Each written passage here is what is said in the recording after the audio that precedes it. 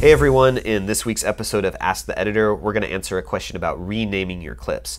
This is a super important process to happen before you import your clips into Premiere, since renaming them will force you to manually relink each and every clip. So it's going to be really time consuming if you do it after you've already started your process. All right, if you're on a PC, open up your File Explorer and navigate to your cards of footage. Open the first one and make sure that your files are organized in ascending order by name. And this is most easily done in the list view as opposed to thumbnail view. Highlight all the clips in that folder, right click, and select Rename. Now it may look like you're just renaming one file at this point, but whatever you name this file will be applied to all the files within that folder. For this exercise, let's rename the file card1 and then press enter and you'll see that each of these files will have the same name but with a modifier number in parentheses at the end.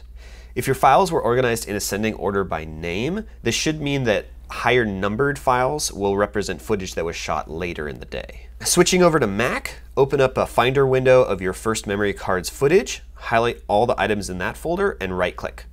From the pop-up menu, select Rename X Items, and once this window pops up, select from the drop-down Add Text and then add any sort of distinguishing characters in order to differentiate this card of footage. So you may choose to do ACAM or Sony or the name of the shooter. I also prefer if these come before the file names, so select before name from the dropdown on the right. Hit rename and you're done with that card. On a Mac, you can always batch, undo, or rename any files that you've renamed through this process. Just select all those clips, right click, go back to rename X items, and this time from the dropdown on the left, select Replace Text. Type in the text that you'd like to replace on the left, and then the new text you'd like to use on the right, and click Rename. This process of renaming clips is not only helpful for the proxy process of making sure that they get attached to the right high resolution media, but it's also helpful for archiving projects.